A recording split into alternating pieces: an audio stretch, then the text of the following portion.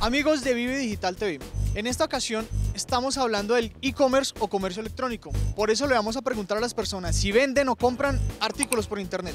¿Qué compras o vendes por internet? Cosas para bebé. Aparatos electrónicos. No, señor. Podría decirse que soy un consumidor habitual de productos vía internet. Memorias para cámaras, cámaras, Ropa.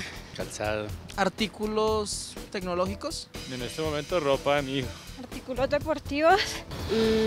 ¿Podemos hacer una pausa? No puedo. No.